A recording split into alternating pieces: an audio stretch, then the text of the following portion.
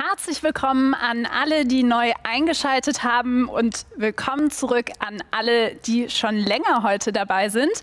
Mein Name ist Annalena Hosenfeld. Zusammen mit Luisa Lamm führe ich euch heute im Livestream durch den zweiten bundesweiten Digitaltag. Wir haben den Aktionstag gemeinsam mit der Initiative Digital für alle organisiert und mit vielen der Partnerorganisationen werfen wir heute in kurzen Gesprächsrunden einen Blick auf digitale Teilhabe in Deutschland. Mit dabei zum Thema digitale Kompetenzen für alle sind jetzt der Bundesvorsitzende des Deutschen Bibliotheksverbands, Herr Prof. Dr. Andreas Dekwitz, und der Vorsitzende des Deutschen Volkshochschulverbands, Herr Martin Rabanus. Herzlich willkommen an Sie beide. Hallo. Herzlich willkommen an Sie. Hallo, Herr Rabanus, sind Sie wirklich im Wald gerade? Von wo sind Sie uns denn zugeschaltet? Tatsächlich ist das analog im Hintergrund und nicht digital, weil ich äh, im Hauptberuf gerade äh, eigentlich unterwegs bin und einen stillen Ort brauchte, um diese Schalte hier zu machen, die mir sehr am Herzen liegt. Sehr schön. Das freut mich ja, dass Sie da aus dem Grünen sich zugeschaltet haben. Ähm, kommen wir dann ganz anders in die digitale Welt, weil um damit wir uns hier sicher und souverän bewegen können, da brauchen wir ja alle eins und zwar sind das digitale Kompetenzen. Und da hat die Volkshochschule ja auch schon ein breites Angebot, um genau hier anzusetzen und diese zu fördern. Um welche digitalen Kompetenzen und Fähigkeiten geht es denn da genau, Herr Rabanes? Ja, das verbirgt sich ja alles unter der Überschrift Digital Literacy, also die Lesefähigkeit in der digitalen Welt, die uns in besonderer Weise als äh, Volkshochschulfamilie auch am Herzen liegt. Wir haben unterschiedliche digitale Tools, auf denen wir Angebote machen können. Ich bin auch sehr stolz auf die vielen Volkshochschulen Land auf, Land ab, die in der Pandemie da sehr innovativ auch waren.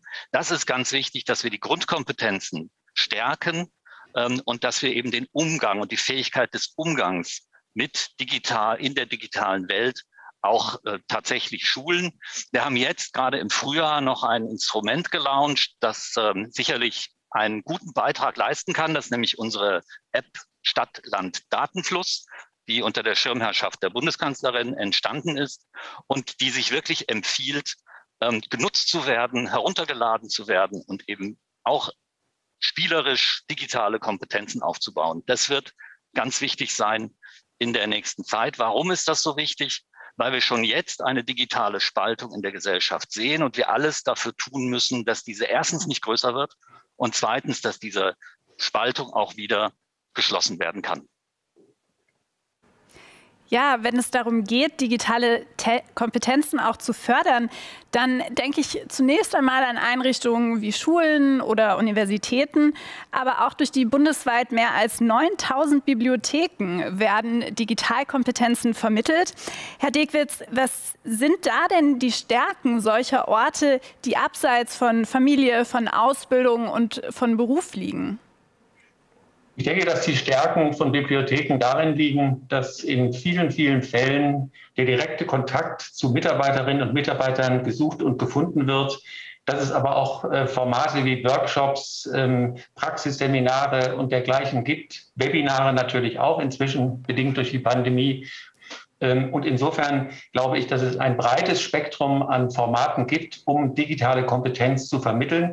Und das auch in enger Verbindung zu einer Praxis, die es in Bibliotheken natürlich gibt. Also wenn es zum Beispiel darum geht, den digitalen Umgang mit Informationen zu lernen, der ja nicht unwichtig ist, zu bewerten, ob Informationen ernst zu nehmen sind oder ob es sich um Fake News äh, handelt oder um Sicherheit bei der Informationstechnik zu bekommen, darüber Informationen zu erhalten und nicht zuletzt die Nutzung der vielen, vielen Tools, die es gibt, sei es für Recherche, sei es zur Kreativität, sei es zum Spiel.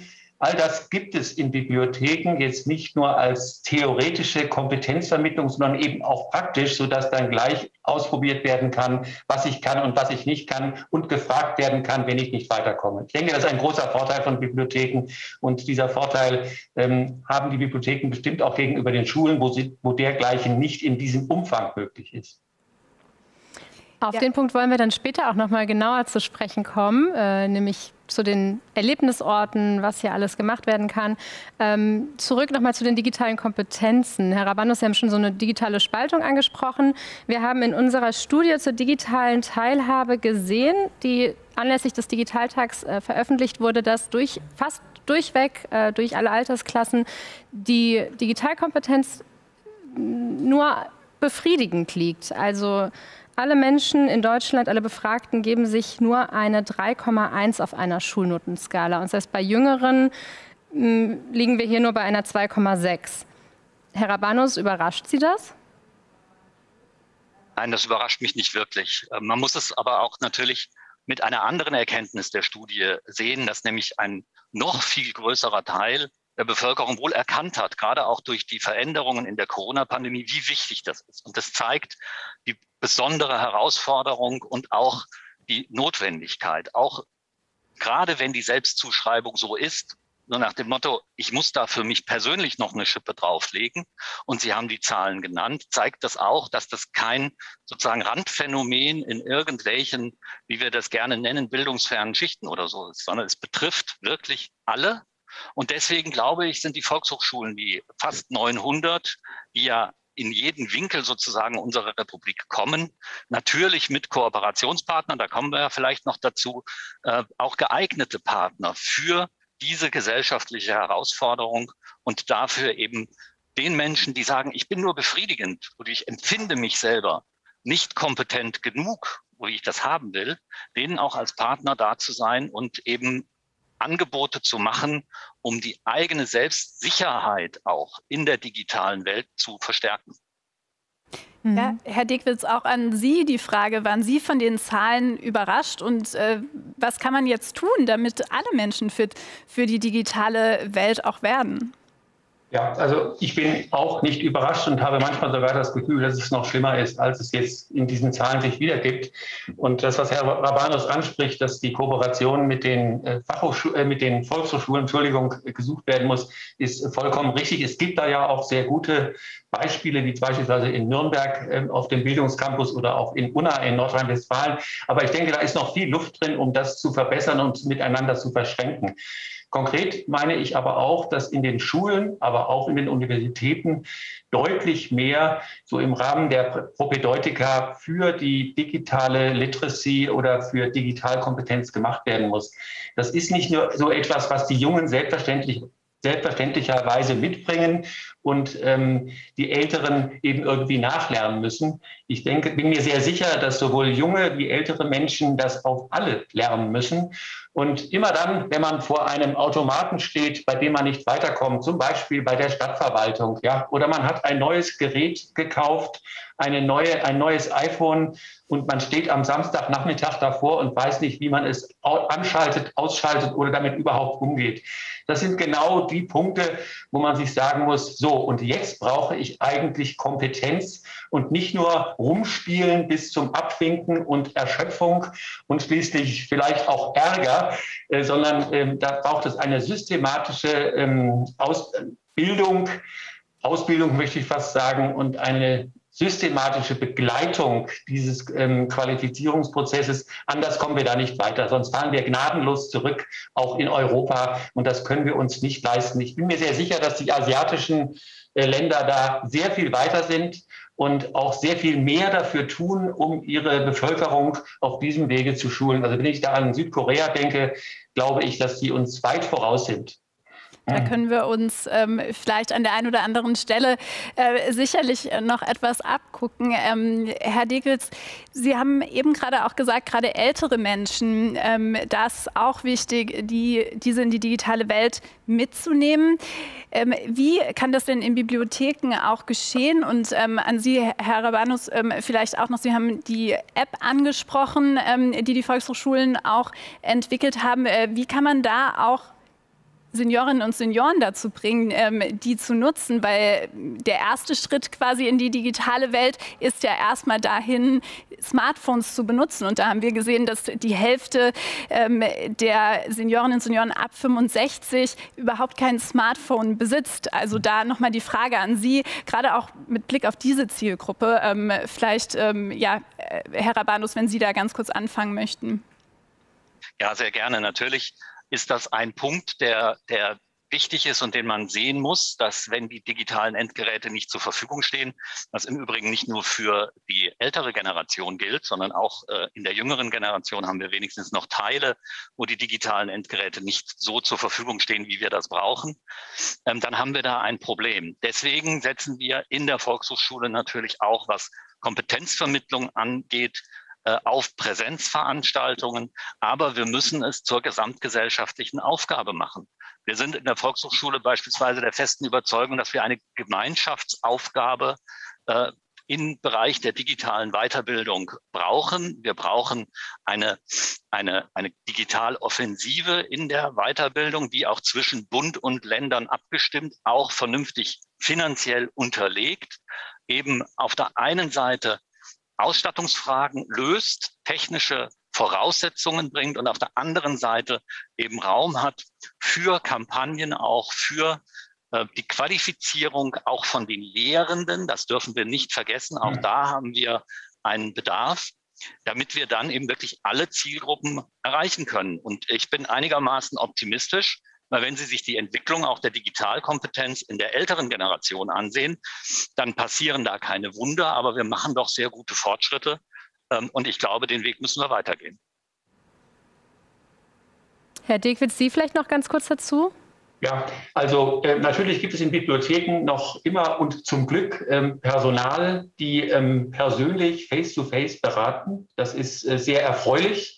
Aber es reicht natürlich auch nicht man kann das auch nicht maximal steigern. Wir werden nicht umhin kommen, auch dort roboterartige Vermittlungswerkzeuge ähm, anzubieten. Aber das ist natürlich bei bestimmten Personengruppen, Zielgruppen auch schwierig einzuführen. Die müssen schon sehr gut und sehr überzeugend sein. Und dann klappt das auch. Es gibt ein Lernroboterprojekt an der äh, Universität Münster. Das ist für den Schulbetrieb gedacht. Aber ich kann mir gut vorstellen, dass, auch, dass, das auch noch weiter in den Bereich der Bibliotheken oder der informellen Bildungseinrichtungen eingeht. Aber es bedarf da einer sehr klugen und ähm, sehr kompetenten Bestückung dieser Geräte, damit das auch wirklich ankommt. Sonst sagen Leute, also was soll ich mich hier mit einer Stimme unterhalten, die ich nicht hören kann? Drücken auf den Knopf und weg ist es. Und es ist nichts gewonnen, trotz hoher Kosten für die Erstellung. Aber ich glaube, wir kommen in der Perspektive nicht darum herum. Und es gehört ja auch zur Auseinandersetzung mit dem Digitalen. Insofern passt das schon ganz gut zusammen. Aber noch ist das viel Theorie wir müssen wirklich die Menschen mitnehmen. Und ich glaube, das ist ganz, ganz wichtig bei der Digitalisierung, dass man die Menschen mitnimmt und sagt, ja, wir verstehen, ihr braucht das und wir wollen es alle. Also kommt an unsere Hand und macht, geht mit uns diesen Weg. Anders das klingt ja das fast schon nach einem gelungenen Schlusswort an dieser, an dieser Stelle. Ja, ähm, ich würde sagen, vielleicht äh, zum Schluss noch eine ganz kurze Frage an Sie beide. Welchen Kurs im Bereich digitale Kompetenzen würden Sie denn selbst gerne mal machen? Also ich würde ganz gerne, Entschuldigung. Bitte, Herr. ja, also ich würde ganz gerne mal so einen Kurs über Fotografie machen oder Bildbearbeitung und dergleichen. Da kenne ich mich sowieso schlecht aus und das finde ich eine faszinierende Sache, was man da alles mitmachen kann. Also was mich tatsächlich interessieren würde, wäre noch ein bisschen genauer zu verstehen, was unter den, hinter den bunten Bildchen auf dem Smartphone passiert. Also ein Kurs über die Funktionsweise von Algorithmen. Das finde ich spannend, weil die servieren uns ja ein Stück weit die, Gesell die, die, die Wirklichkeit in Anführungsstrichen auf unseren Timelines in den sozialen Medien etc. Und da noch ein bisschen genauer zu verstehen, wie das technisch funktioniert, was mir da angezeigt wird, das wäre für mich spannend. Da gibt es ja sicherlich auch Angebote von Volkshochschule und Bibliotheken, äh, auch heute ja. am Digitaltag, wo man äh, da mal reinschauen kann. Also auch an alle Zuschauerinnen und Zuschauer da gerne mal bei uns in der Aktionsübersicht schauen, was im Bereich digitale Kompetenz, Weiterbildung ähm, und Ausbildung so alles heute geboten wird. Ja, vielen Dank noch einmal an Sie, Herr Degwitz, Herr Rabanus, dass Sie heute bei uns waren ähm, und dass Sie Teil der Initiative Digital für alle sind und sich mit den 27 25 Partnern gemeinsam für mehr digitale Teilhabe in Deutschland einsetzen. Vielen Dank. Ja, welche Events heute ansonsten noch so den ganzen Tag stattfinden, das könnt ihr ähm, bei uns im Menüpunkt Programm auf der Webseite sehen. Und wenn ihr da nach Themenbereichen und Stichwörtern filtern möchtet, dann könnt ihr das am besten in der Aktionsübersicht tun. Luisa, was erwartet uns denn gleich alles? Ja, Stichwort digitale Kompetenzen. Wenn wir ehrlich sind, so nach einem Jahr Pandemie, auch dann fühlen wir uns manchmal vielleicht noch ein bisschen unsicher bei Online-Meetings, Online-Konferenzen oder virtuellen Projekten. Und den Umgang mit solchen Tools, zum Beispiel wie Zoom, die könnt ihr jetzt äh, bei der HPI Academy im Workshop spielerisch erlernen. Und wenn ihr mal eine kleine Pause braucht, dann könnt ihr ganz bequem von zu Hause aus eine virtuelle 360-Grad-Tour durch eines der größten Rechenzentren in Deutschland erleben. Ja, wenn ihr hier dran bleibt im Livestream, dann erwarteten euch gleich ein paar Grußworte aus Hessen. Ministerpräsident Volker Bouffier sendet eine Nachricht zum Digitaltag. Wir freuen uns auf euch. Wir sind zurück um 11.45 Uhr. Dann haben wir die Deutsche Forschungsgemeinschaft und den Verband des TÜVs hier im Gespräch wieder mit euch dabei. Bis dann, viel Spaß beim Digitaltag.